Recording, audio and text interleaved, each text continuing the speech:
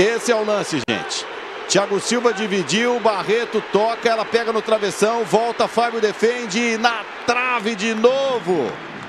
Olha só, bola do Barreto, toca no travessão, volta, Fábio faz milagre. Viseu, na trave, de novo. Alterações do Maracanã, ouçam.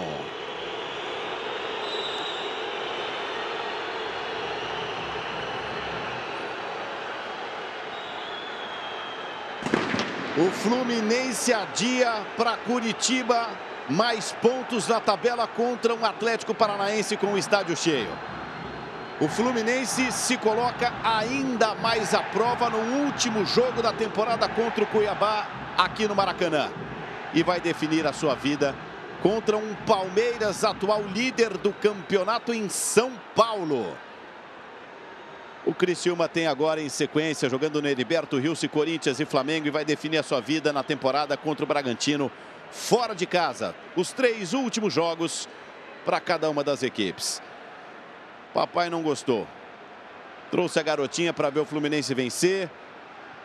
O planejamento era muito claro. Duas vitórias nos dois jogos em casa. Contra Criciúma e Cuiabá. E de novo, o que eu ouço é o torcedor indo embora chamando o time de sem vergonha. Ouçam.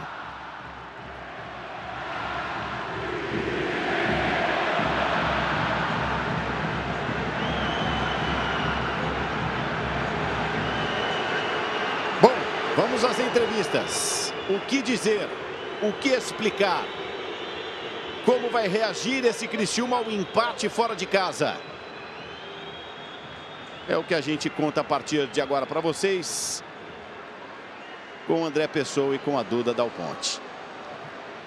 Jogadores do Fluminense saindo lentamente por aqui. O zagueiro Thiago Santos vai vir falar com a gente.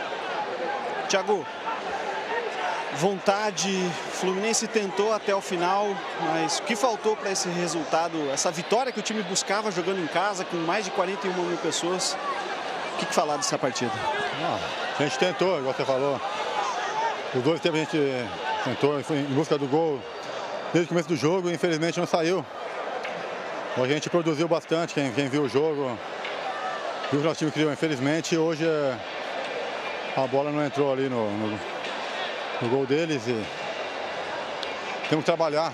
Temos três jogos pela frente ainda, a gente sabia que não ia ser fácil. Eles fizeram um jogo difícil contra o Botafogo aqui no Rio de Janeiro e hoje também a gente não esperava um jogo fácil.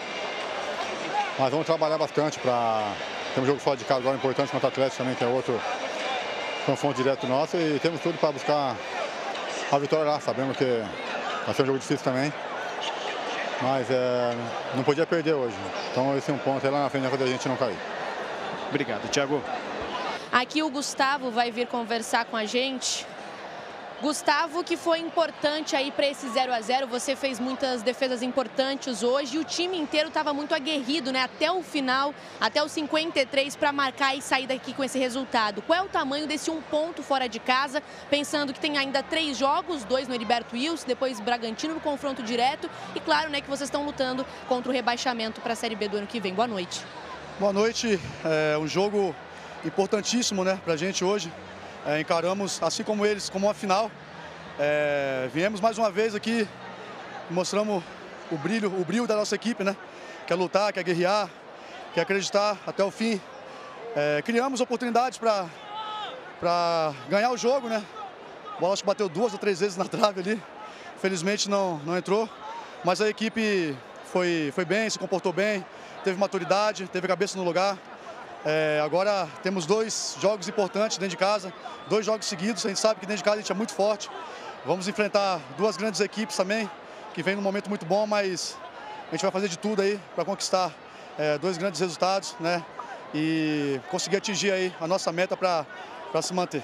E no finalzinho ali no escanteio você estava querendo ir para a área, ainda estava acreditando no gol? Não, não, não. Eu estava só brincando com o pessoal mesmo aqui, mas no, no, no, eu fui no último jogo, né, para a área é, cabeceei a bola, quase fiz o gol.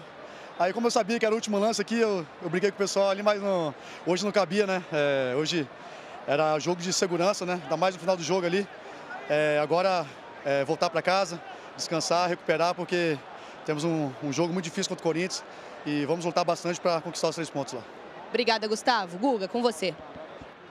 Muito bem, torcedor do Fluminense, quer dizer, muito bem a força de expressão, né? Porque para o torcedor do Fluminense de cabeça inchada, depois de uma temporada terrível, tudo vai mal. Tudo vai mal. A tabela de classificação está na tela, gente. Bom, tem briga por título ainda, né? Palmeiras e Botafogo se enfrentam logo mais à noite. Daqui a pouco a gente passa pelo aquecimento das equipes lá. Palmeiras, Botafogo Internacional, Fortaleza e Flamengo que vão empatando 0 a 0 jogo na segunda etapa. São Paulo e Cruzeiro, o pelotão de elite, fechando as vagas da Libertadores. Olha o Corinthians que vai pegar o Criciúma na próxima rodada, brigando, né, ponto a ponto. Tá juntinho de Cruzeiro. É, G7 pode ser só G7 ou no máximo, para esse campeonato, G7 pode virar G8. Então essa é a briga intensa aí por uma vaga à próxima competição internacional, a Libertadores, a mais requisitada. Bom, o Atlético Paranaense é o próximo adversário do Fluminense. Tem dois pontos a mais do que o Fluminense. Olha, para o Atlético Paranaense, pontuar, empatar, não é mau negócio. Agora, a Arena da Baixada vai estar daquele jeito entupida, vai jogar com uh, o apoio do torcedor no gramado sintético. O Fluminense vai ter que pontuar lá. Vai ter que se virar agora para pontuar em Curitiba, depois vencer o Cuiabá. Imagino que na penúltima rodada já rebaixado, e o Fluminense ainda vai ter o jogo contra o líder, neste momento líder do Campeonato Palmeiras, em São Paulo, para fechar a participação. É claro que o torcedor tricolor ainda vai secar o Juventude, que pega o Galo daqui a pouquinho às nove e meia. Criciúma, de momento, Bragantino, Cuiabá e Atlético Goianiense são os quatro últimos na tabela. Bom, tá feito o convite, gente. Sport TV, Premier.